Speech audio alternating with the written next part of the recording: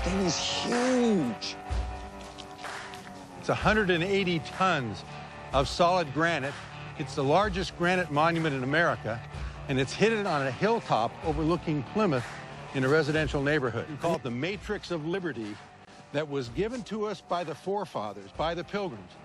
And they, those 130 years ago, when they built this, wanted to leave this behind for us so that if we would ever forget how liberty is built, we would know what to do to regain it. This is how they did it. This is how they did it. Now, if, if somebody else wants to try another way, which is what's happening today in America, we're trying a thousand ways to turn America around, but this is the way it was done.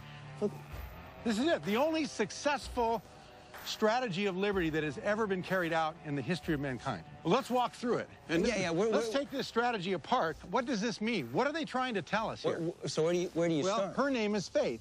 Says so right there. And she is pointing her finger to heaven. Why? For God is. For God is, because her faith is in the God of the Bible,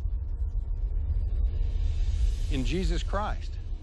They knew that the only faith that could bring true liberty was a faith in the one true God and his Bible. And you see a Bible there, an open Bible. It's a Geneva Bible. The pages are opened up, which meant that they read it.